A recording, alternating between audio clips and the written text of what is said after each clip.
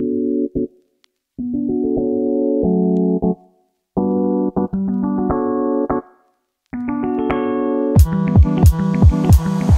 Esta tableta es la Uji U1600 y se trata de la hermana mayor de la Uji U1200, de la cual hice una review en el canal hará unos meses, la cual me gustó un montonazo y sigo recomendando a día de hoy. Y quizá esta sea la tableta barata más recomendable que hay ahora mismo en el mercado, porque cuesta tan solo 250 euros. Y quiero que lo tengáis en mente para todo lo que tiene la tableta, como os voy a enseñar a continuación. Pero antes, un mensaje del patrocinador de este vídeo. Moavi Video Suite se trata de un paquete de programas para la creación de vídeos, que incluye Moavi Video Editor, Screen Recorder y Moavi Video Converter.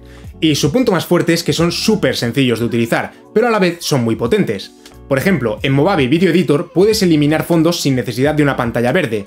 Tan solo le das a eliminar fondo y listo, ya puedes colocarte donde a ti te apetezca. También cuenta con una estabilización automática para tus vídeos que funciona genial para quitar esos tembleques que puedan tener tus grabaciones. Y por último, y más importante, cuenta con una librería de efectos enorme para darle ese toquecito extra a tus vídeos. Además ahora, por tiempo limitado, tenéis un descuento enorme para Movavi Video Suite, además de un descuento extra para quienes vengáis de este vídeo si usáis este código y links que encontráis en la descripción. Además, os lleváis un año entero de acceso a Movavi FX Store, que tiene efectos, recursos y animaciones buenísimas para ponerle un poco de salsa a tus vídeos. Y Movavi ofrece 7 días de prueba para que podáis ver si os convence el programa antes de comprarlo. A mí me han parecido unos programas muy completos y que a diferencia de otros programas de edición son muy sencillos de usar. Si os decidís a comprarlo, por favor, usad los links que os he dejado en la descripción y el código para llevaros un descuento. Y así además la gente de Movavi puede saber que habéis venido de mi parte. Muchas gracias a Movavi por patrocinar este vídeo y ahora sí, vamos al lío. Lo primero que nos encontraremos es que aunque el packaging es muy sencillo, la tableta viene muy bien embalada y protegida. La tableta tiene una pantalla de 16 pulgadas con resolución Full HD, y en la parte de arriba encontraremos tanto los botones de encendido como el de subir y bajar el brillo, además de dos puertos USB-C, los cuales sirven el de la derecha para conectarla con el cable que viene con la tableta y el de la izquierda para conectar con un único cable USB-C, el cual no incluyen con la tableta y por cierto en este punto tengo una pequeña queja que no es solamente de esta tableta, me ha pasado con más marcas, y es que el agujero que dejan para poder meter el cable USB-C es demasiado pequeño y muchos cables no entran. De todos los que yo tengo, tan solo uno entraba y aún así he tenido que forzarlo una barbaridad para que pueda entrar.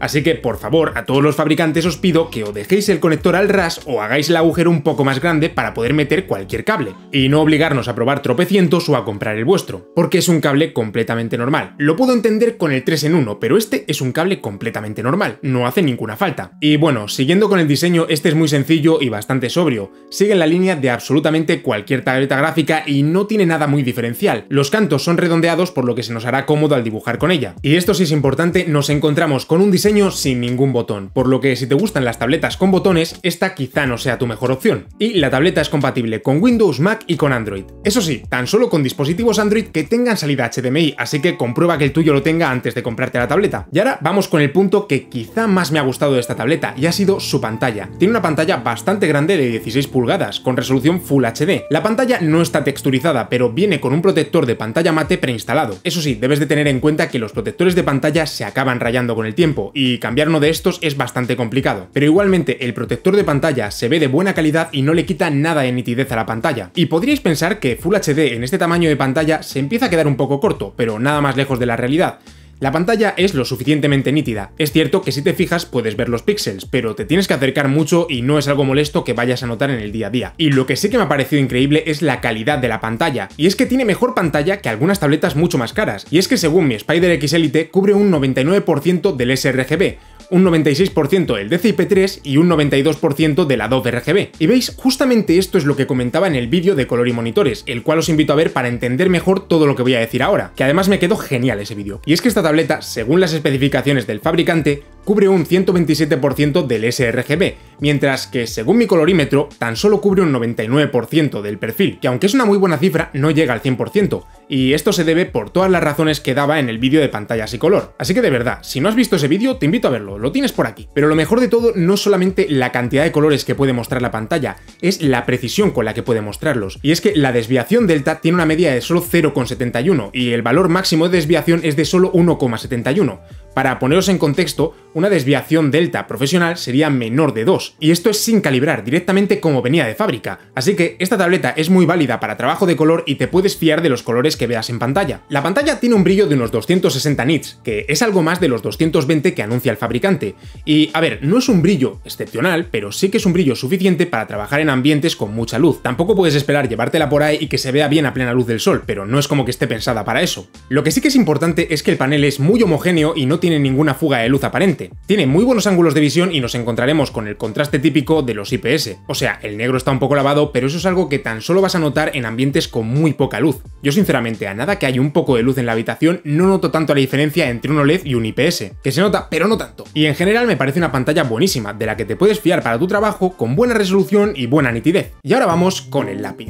El lápiz cuenta con dos botones y un borrador en la parte de atrás. Es de un diseño muy finito y a mí me recuerda bastante a los S Pen. Está completamente construido en plástico y es robusto y de buena calidad. El lápiz no tiene ningún tipo de grip de silicona, y a ver, no es como que se me haya hecho incómodo de usar, pero sí que agradezco que los lápices tengan un grip de silicona para hacer más agradable el agarre. Además la tableta no trae ningún tipo de stand para dejar el lápiz y bueno, oye, no creo que te hubiese costado mucho meter un trocito de plástico para poder dejar el lápiz en la mesa y que no vaya rodando por ahí. Y lo que sí que he notado con este lápiz es que la presión inicial de activación es bastante alta y eso que yo soy una persona que no se suele fijar en esto. Esto lo comento porque sé que muchos de vosotros os gusta dibujar simplemente dejando caer el lápiz y este lápiz quizá no es el mejor para esto. Pero si me preguntas, aunque lo he podido notar, a mí no me ha molestado en absoluto a la hora de dibujar con la tableta. Y en resumen, aunque es un buen lápiz, creo que quizá sea el punto más flojo de la tableta.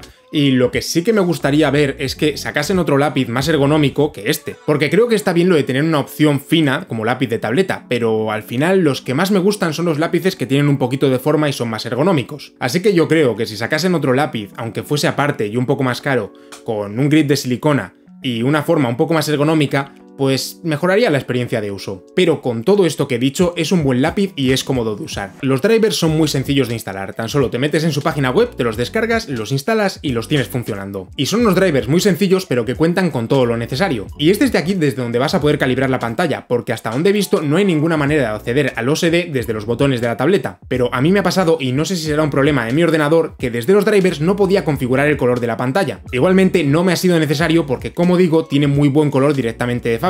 Pero bueno, vamos con lo importante. ¿Qué tal ha sido la experiencia de dibujo? Y tengo que decir que la experiencia de dibujo ha sido perfecta.